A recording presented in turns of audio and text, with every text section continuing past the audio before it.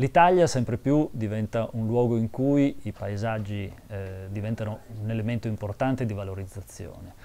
La realizzazione e l'identificazione di tanti eh, siti UNESCO eh, fa sì che oggi ci troviamo in un'area che è diventata il cinquantesimo eh, territorio dell'UNESCO importante e che potrebbe diventare laboratorio per la trasformazione di futuri paesaggi.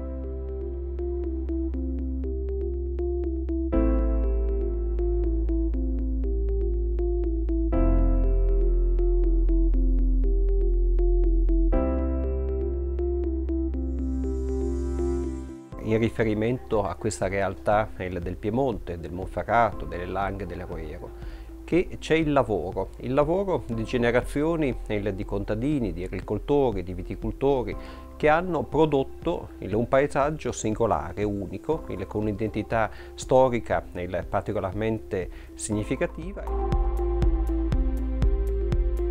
Cioè, Calamandra mi piace,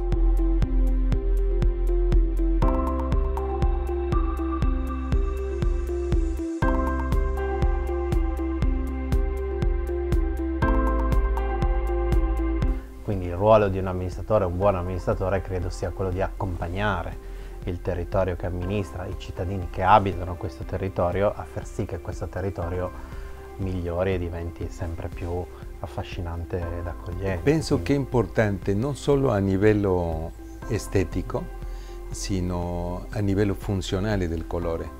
Il, il colore ha una poetica per sé.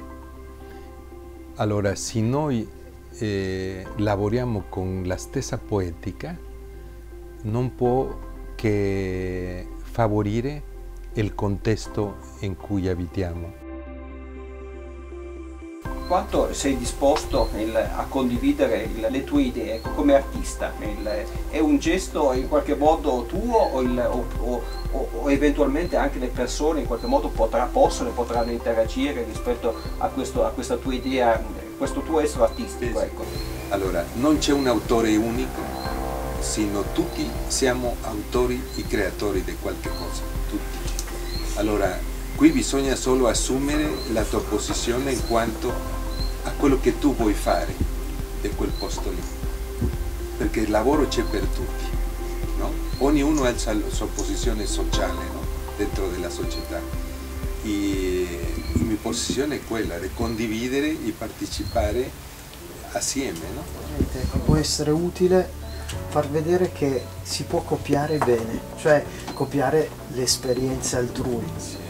Quindi forse anche quello serve per questo luogo, per far capire anche in modo sereno che non è che gli si impone un qualcosa ma gli si propone e poi non è che devono cambiare la vita dall'oggi al domani ma la possono trasformare, che è ben diverso. Che devi comunque coinvolgere fino dalle prime fasi della progettazione la gente del luogo, ma esatto. fino a partire anche dai ragazzini delle scuole esatto. che sono poi i futuri fruitori degli spazi pubblici sì, sì. e che se si sentono coinvolti e se sentono loro lo spazio pubblico A lo usano, ne fruiscono e, do, e, non lo vandalizzano domani perché è uno dei grossi problemi che c'è ad esempio magari non da queste parti ma nelle grandi città. Quindi se invece una progettazione partecipata dal basso che vuol dire che coinvolgi i cittadini, gli abitanti, i, i ragazzi delle scuole e anche nelle scelte, nelle fasi di, di, di, di progettazione